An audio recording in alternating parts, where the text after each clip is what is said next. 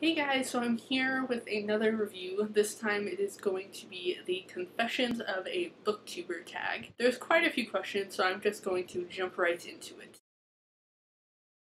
Because I have no money whatsoever, I just use iSight on my MacBook Pro and I edit with iMovie. Once I start like actually working at my new job and start getting a paycheck and getting all my bills out of the way, I'm going to start saving up for that, along with a few other things. I need a new car, I need to save up for VidCon. I am also saving up for a Canon 60D and possibly Final Cut Pro. I'm not too sure about Final Cut Pro yet, just because I enjoy using iMovie, but I feel like if I got Final Cut Pro, I would have a lot more freedom to do what I want with my videos. Um, so that brings on the question if any of you guys use Final Cut Pro or any of the Final Cut products, let me know in the comments below how you like them and if you would recommend using them. Because, like I said, I'm leaning towards getting it, but I'm still not sure. I'm not sure how many hours a week I spend because it varies on how many videos I put up that week. It generally takes me about 15 to 20 minutes to record a video depending on what I'm posting, but it averages around 15 to 20 minutes. As for editing, it takes me generally about 30 to 45 minutes. A lot of that is just me deciding whether a piece of information should stay in the video or if I should cut it out because it slows the video down because I ramble a lot. You guys just don't know it. So yeah, it generally takes me about 30 to 45 minutes to edit a video. The video itself, I just do in one take. I just repeat the same lines over and over again because I have no speaking skills whatsoever, and it takes me forever to finally get it the way I want it to, or without me saying um and like every other word.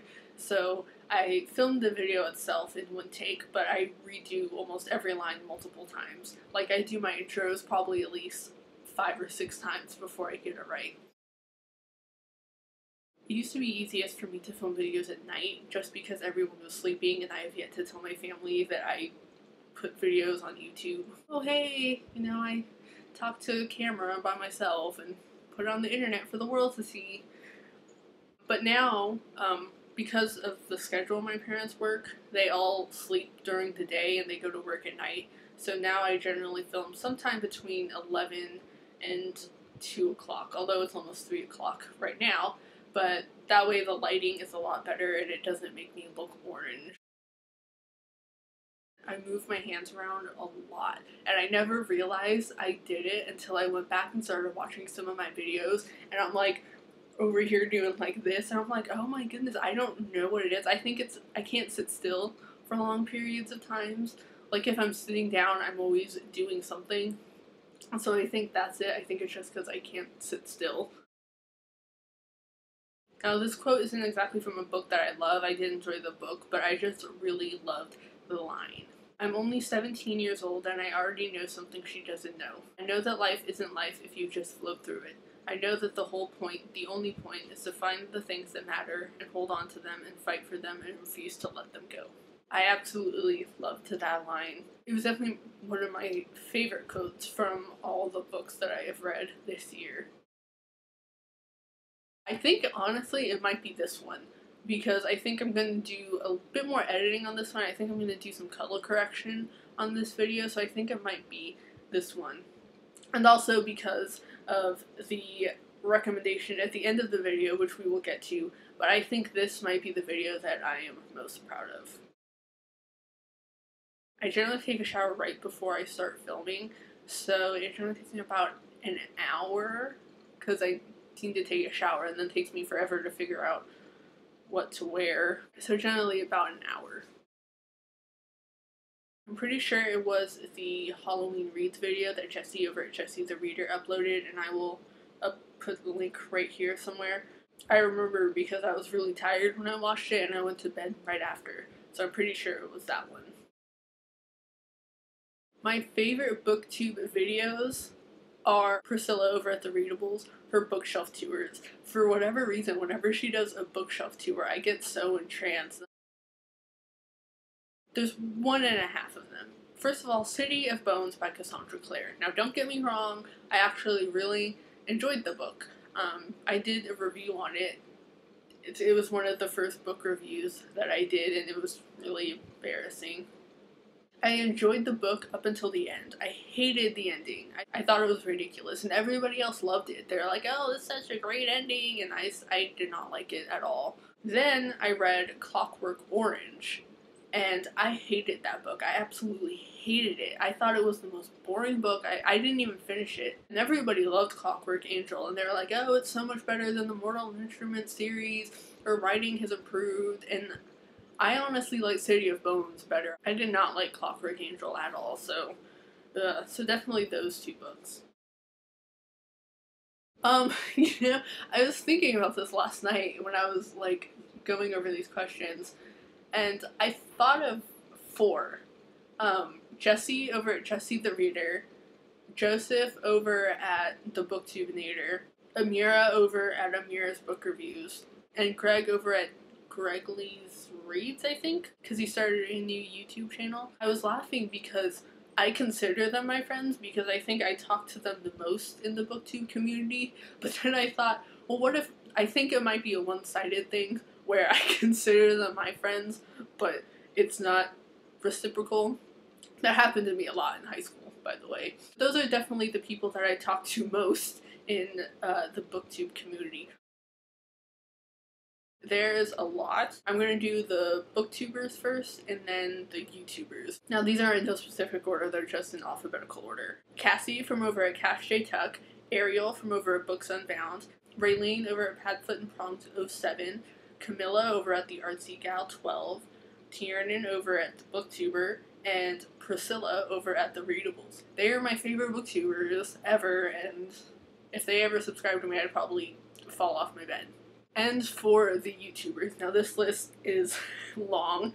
So Phil over at Amazing Phil, Birdie over at Birdie Birdie, Bri Bri over at Bri Bri on Tuber, Grace over at Daily Grace, Dan at Dan Does Not Fire, Caspar over at Dcasp, Louie over at Food for Louie, Jack and Finn at JacksGap, PJ over at Kick the PJ, Kimmy over at Kimmy Talks, Marcus over at Marcus Butler, Sam over Official Sam Pepper, Alfie over Pointless Blog, Tom at Tom Law Music, and Tyler Oakley. Those are all my favorite YouTubers and booktubers, and if they ever subscribe to me, I would die.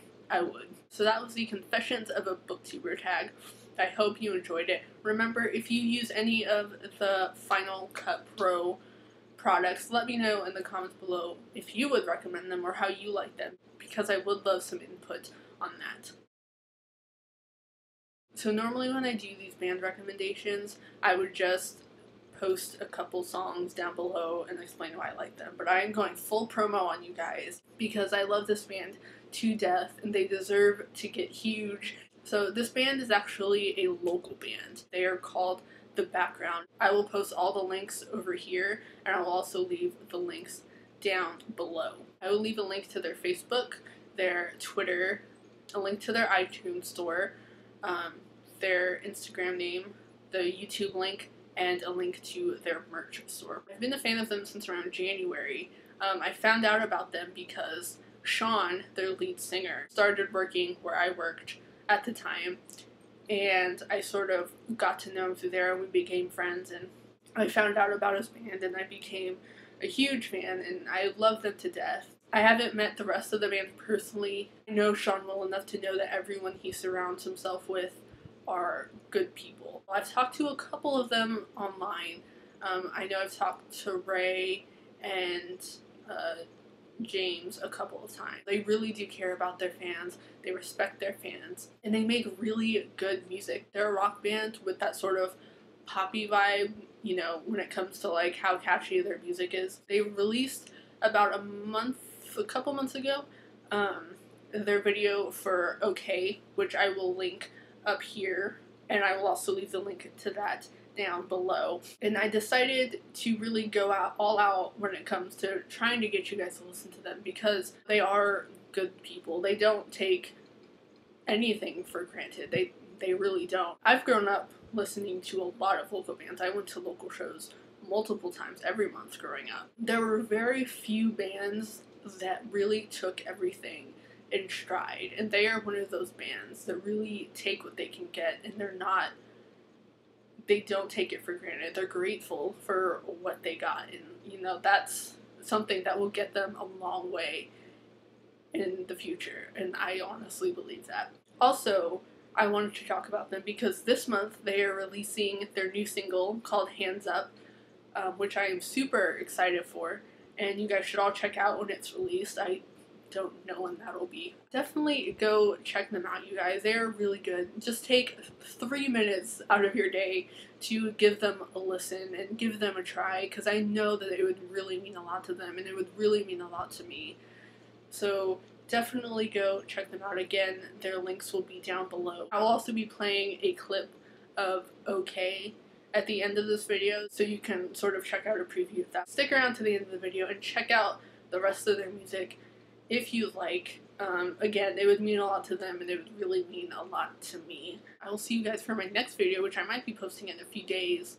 So let me know in the comments what you thought of this video as a whole. If you took the time to listen to the background, which I hope you did.